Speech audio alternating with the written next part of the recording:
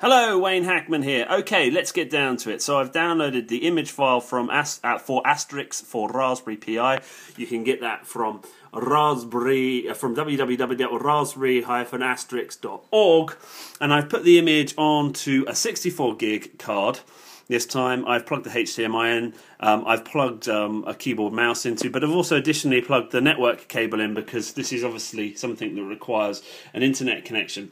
Uh, I don't know what's going to happen now. I put the image on there. I'm just intrigued to see, so I'm going to plug it in for the first time.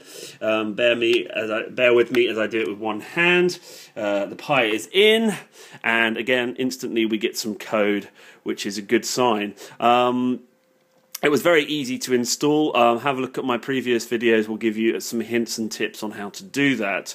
Um, so it's it's it's it, doing all the bits and pieces, configuring network place um, uh, network interfacing, which is good. Hopefully, it's given us an IP address, which it has. Um, so theoretically, I can now start to configure.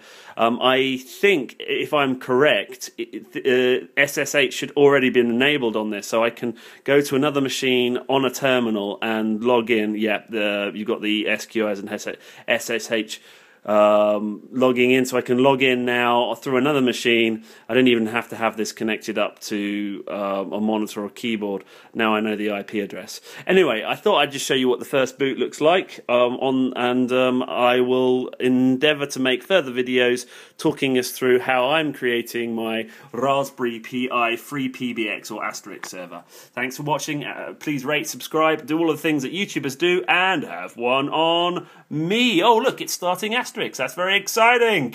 Very, very exciting. Bye. Oh, we've got, there we are, to the login. I really am saying goodbye now. Bye.